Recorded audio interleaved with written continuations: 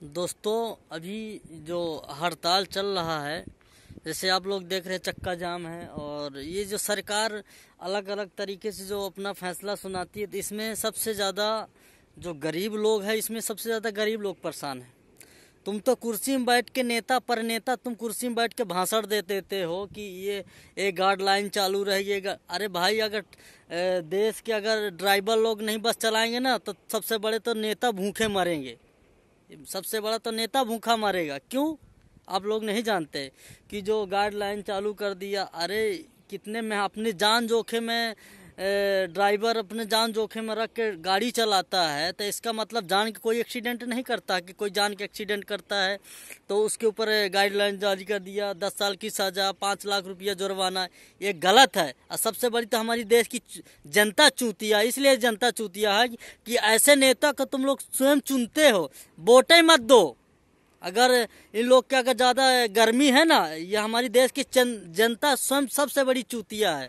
हम अपने देश की जनता के चुतिया बोलते हैं कि तुम ऐसे नेता कैसे प्रधान को चुनते हो? शिवराज सिंह मामा हमारे देश के प्रधानमंत्री थे।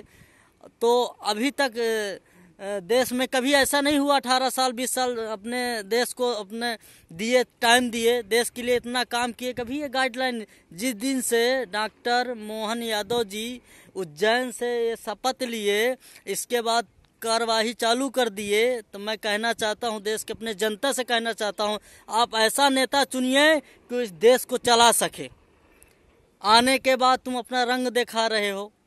ये सब गलत है। गरीबों के ऊपर गुजर रही है। तीन दिन से चार दिन से बच्चे लोग परेशान किसी को कहीं जाना किसी कहीं जाना किसी की माता बहन गुजर रही को, कोई देखने सुनने वाला नहीं है।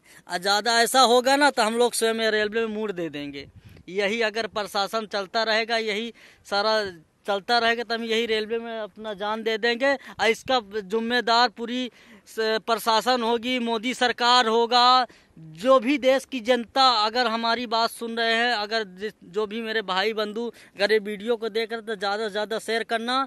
और देश की जनता स्वयं, आप लोग स्वयं सबसे बड़े भगवान तो हमारी देश की जनता है, सबसे बड़ा योगी मोदी से जो भी है, हमारी देश की जनता है, सबसे बड़ी। तो मैं यही अपने देश की जनता से बोलना चाहता हूँ कि आप लोग सभर संभर जाइए ऐसे नेता चुनिए जो देश को चला सके। ऐसे नेता मत चुनिए कि शपथ लेने के बाद उल्टा कानून चालू ये सब गलत है ये विरोध है। अगर आप लोग सड़कों में उतरिए आपके साथ पूरी जनता खड़ी है। विरोध करिए। विरोध नहीं करेंगे ना तो ऐसे ही नेता आ, हम हाँ हमारे गले में फांसी डाल अरे ऐसा ही मानना तो सब ड्राइवरों को फांसी में चढ़ा दो, क्यों? डायरेक्ट कानून लागू किए हो, फांसी फांसी में चढ़ा दो डायरेक्ट।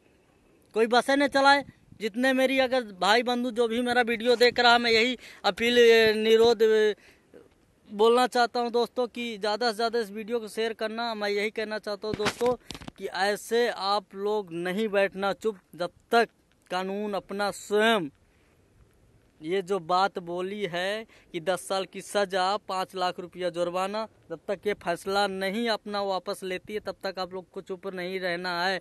जहाँ बस, जहाँ गाड़ी है, वहीं छोड़ के भागो। फिर देखते हैं कि प्रधानमंत्री चलाने आता है कि योगी बाबा चलाने वाले हैं कि कौन चलाने वाला? देखते हैं कि नेता चलाएगा, यहाँ यहाँ नेता चलाएगा बस। देखते हैं ना कौन नेता चलाता है बस को। अगर अगर हमारी देश की अगर जनता होशियार है तो आप लोग समझ जाइए समझ जाइए, समझिए आप लोग।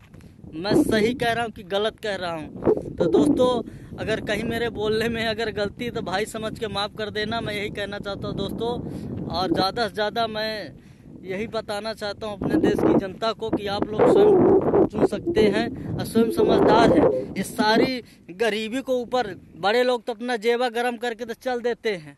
एक गरीब आदमी मारा जाता है, गरीब के ऊपर एक्शन लिया जाता है। तो दोस्तों, मैं यही कहना चाहता हूँ कि मेरी वीडियो अच्छी लगी तो प्लीज़ दोस्तों शेयर ज़रूर करना। जय श्री राम, जय बागेश्वर धाम।